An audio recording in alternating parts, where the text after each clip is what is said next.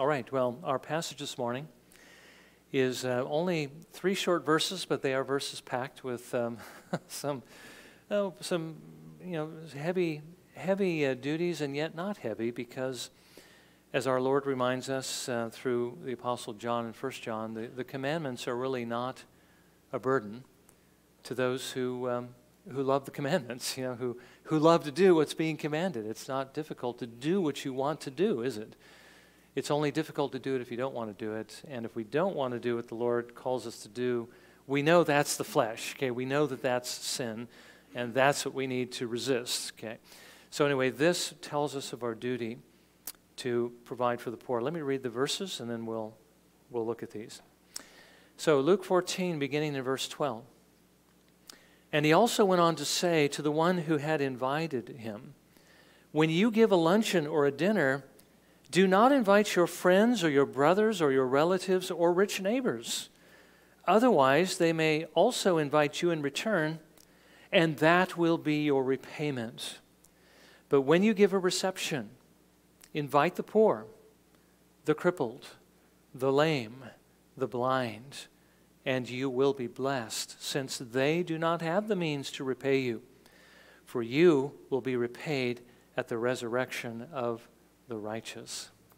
Boy, what more needs to be said? Well, let, us take a, little, a look at this and let's be encouraged to think about what we might be able to do to help those in need.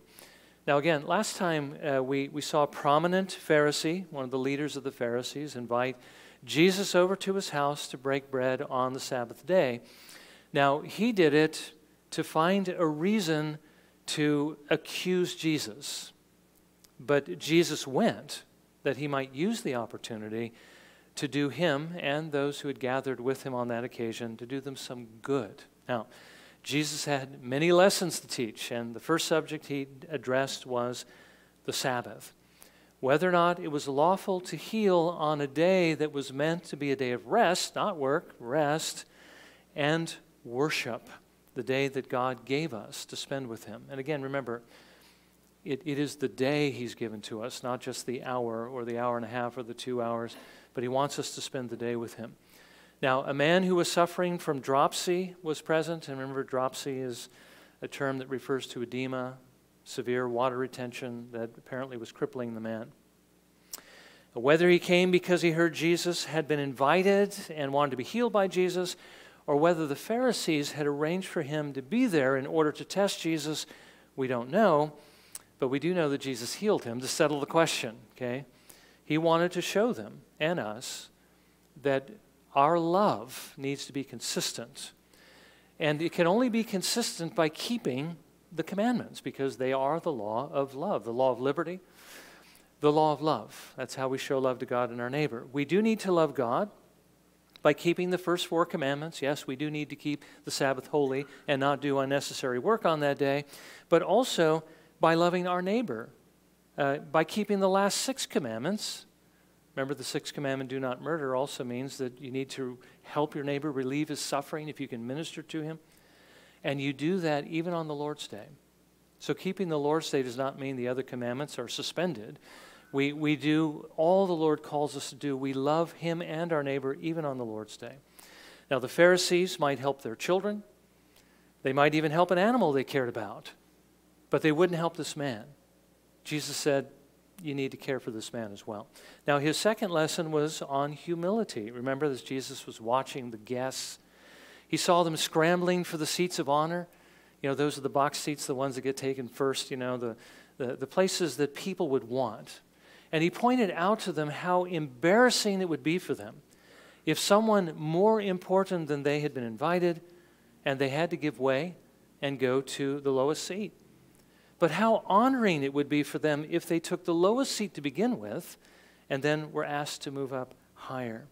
Jesus was telling them, Jesus is telling us, he was, as he would later tell his disciples, that the way to greatness in God's kingdom is not by exalting yourself, but by humbling yourself to become the servant of all, even as Jesus, being God, uh, humbled himself and took on our nature in order that he might serve us by going to the cross and laying down his life for us. But Jesus, as I've mentioned already, has two more lessons that he wants to teach them before he leaves this particular uh, luncheon, this particular dinner party. Now, the first one is on giving, you know, who should be the objects of our charity. And the second on the blessing of entering into God's kingdom. Now, this morning, we're going to look at two things that he teaches about giving. First of all, that we should help the poor, that, that we should extend charity to them. And secondly, that if we do this, God will repay us. Now, first, he says we should, we should help the poor. Jesus, you know, he's been addressing various issues, you know, all the Pharisees regarding the Sabbath, and then those that were scrambling for the seats of honor, you know, which included those that were coming to the table, which I imagine would be most of the guests, or if not all of them. But here, he goes on to advise the host of the guest. Everything he says here is directed towards that man because he was the one responsible for putting this whole thing together.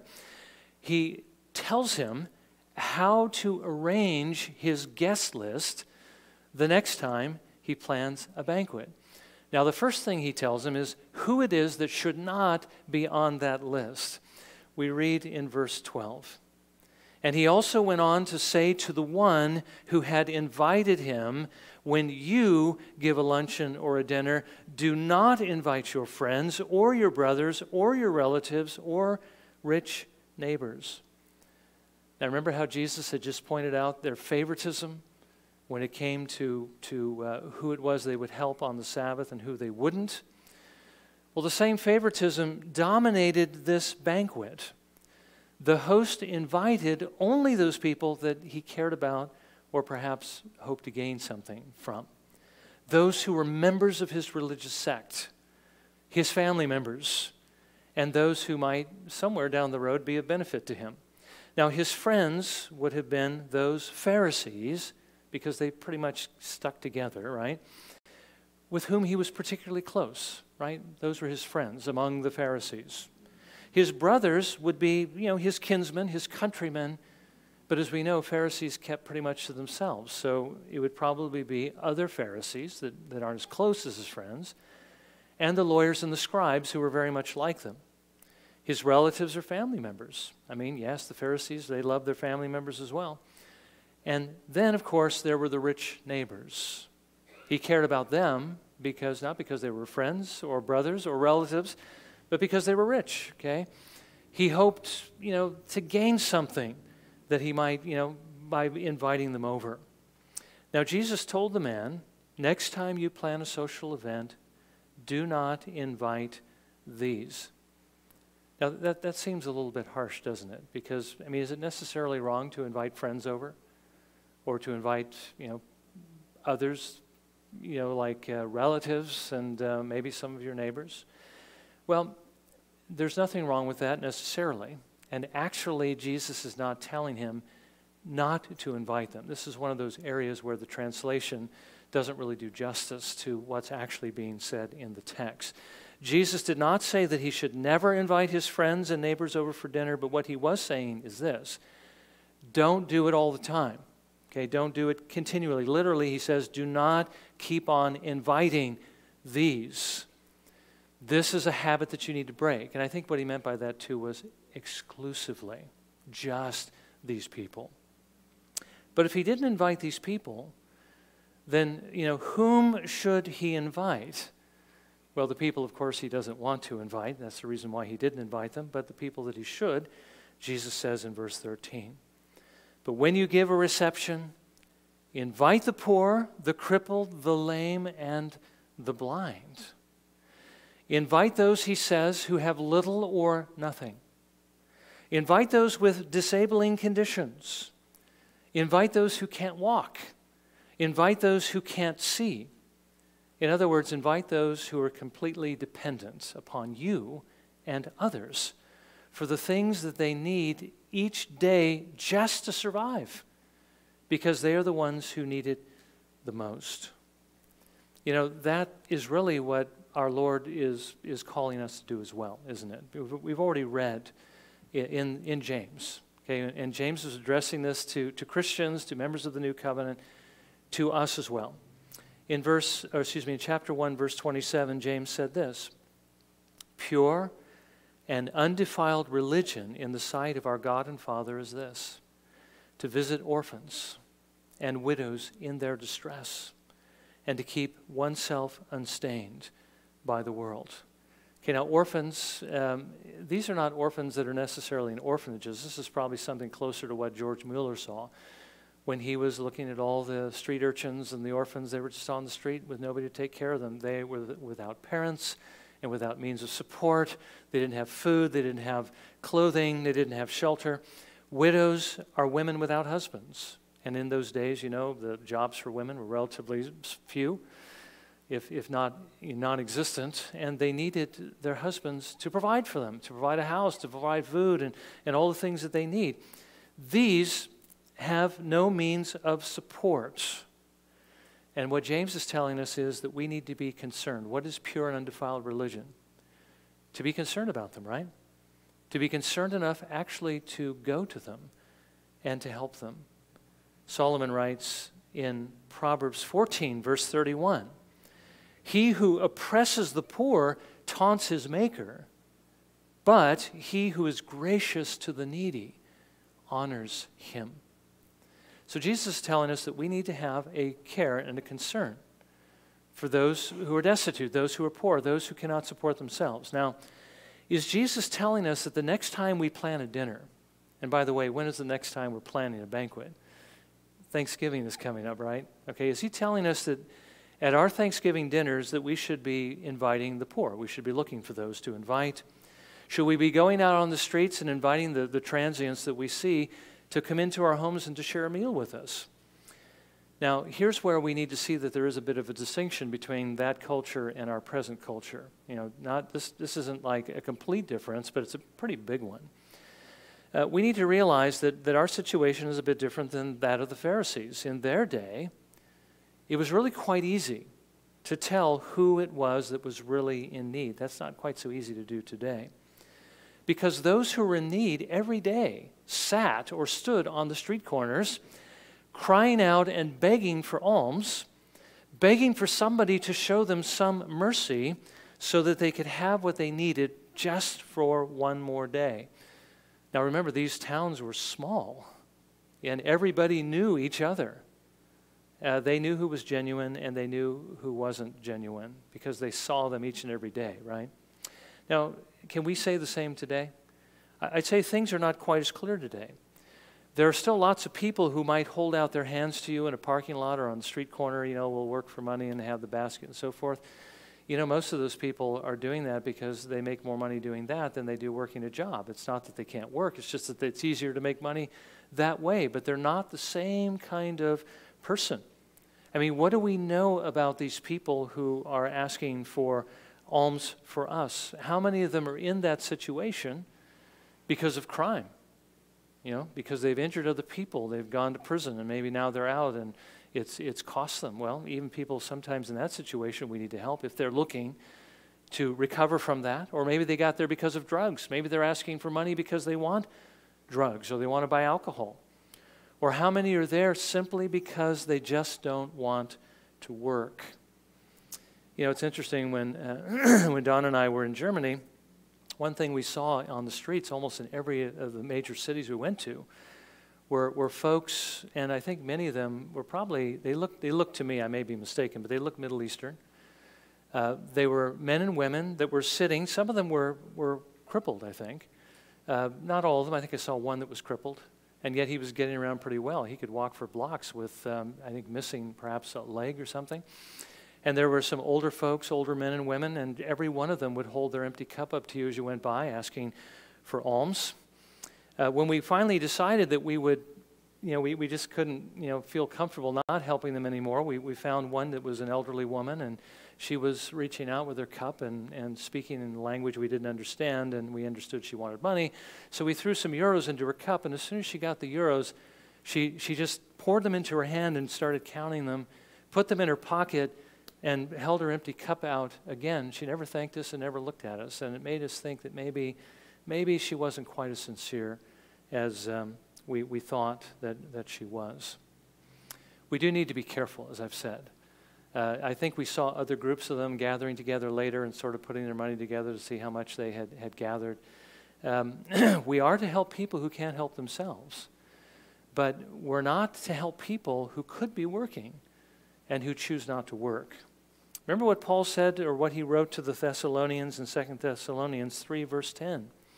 For even when we were with you, we used to give you this order If anyone is not willing to work, then he is not to eat either.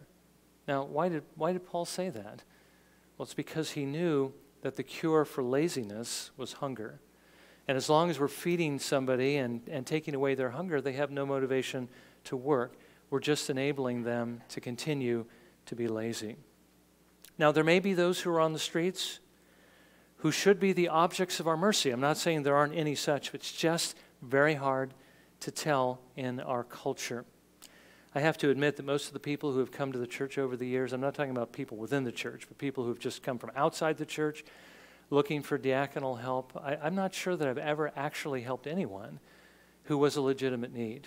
And many people I turned away just because you could tell from their stories and the inconsistencies and the inability to check up on them that they were just completely false.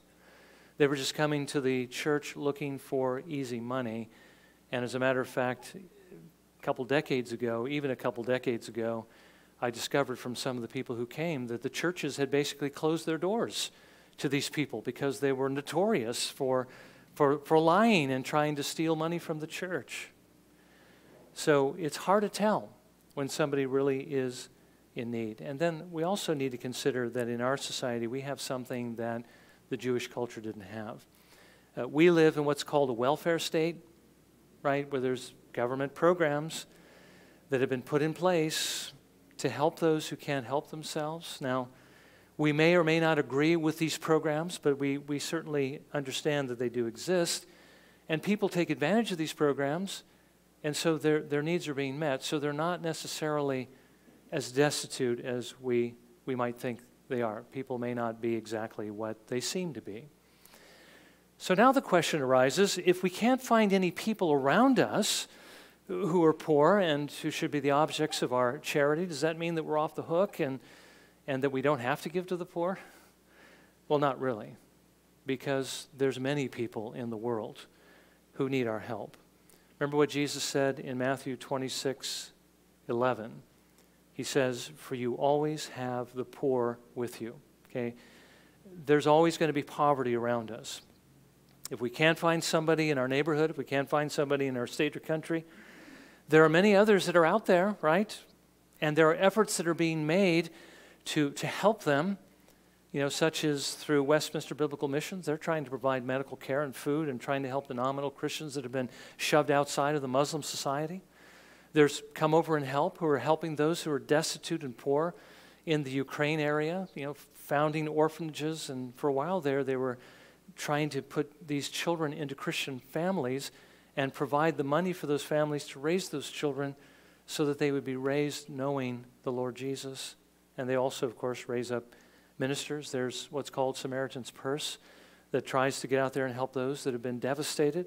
And of course, our own denominational diaconal committee, which is you know, seeking to be a first responder to you know, places in our country, at least, and I think even outside our country, that are devastated by hurricanes and, and things of that nature. Now, there's plenty of needs. And we're never going to be able to relieve all the poverty. Jesus certainly recognized that when he says, You always have the poor with you. But that means we're always going to have the opportunity to give, right? Jesus continued in that same passage in Mark 14, verse 7. He says, Whenever you wish, you can do good to them. Jesus wants us to consider this morning whether, whether we're doing you know, what we should be doing as far as caring for the poor. But now that brings us to the second point. The second point has to do with motivation, right? Why should we do this? Why should we give to the poor? Well, we should certainly do it because our Lord commands us to do it, but there's, there's another motivation that's included here. And he tells us about it in verse 14. He actually says in verses 13 and 14 But when you give a reception, invite the poor, the crippled, the lame, and the blind, and you will be blessed since they do not have the means to repay you. For you will be repaid. Notice, you will be repaid at the resurrection of the righteous. Notice, you notice that, um, you know, where they're going to be repaid at the resurrection of the righteous. Does that tell you something about the character of the righteous, right? Is that they are those who help the poor. But our Lord is telling us here is this if we help them, God will repay us. Now, the problem with inviting our friends and our brothers, our relatives, and our rich neighbors, if we happen to have any rich neighbors, is that they will likely invite us in return. And Jesus said in verse 12, that will be your repayment. Again, I remember in the past being in these health and wealth churches, which I, I don't recommend. Um, somebody would come and begin asking for people to donate to his ministry. Don't grieve and quench the Holy Spirit. Raise your hand if you're going to give $1,000 to my ministry. People would raise their hands. Now give, her, give them applause, you know, give them a hand. Everybody would applaud them. And I remember even then, as, as being, you know, my mid-teens, that person just got their reward in full. that's, they just got the applause of men. If that's, that's all they're going to get, that be, because the Lord tells us to do this in secret.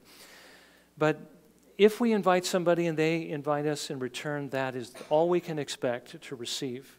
As Jesus said on other occasions, when you do things to be seen of people, when you do things for other people expecting to receive back, that is all you can expect to get. But if you do it in secret so that only God sees, or in this case, if we give to those who can't repay us, God says He's going to take the, the, the ownership of that debt upon Himself.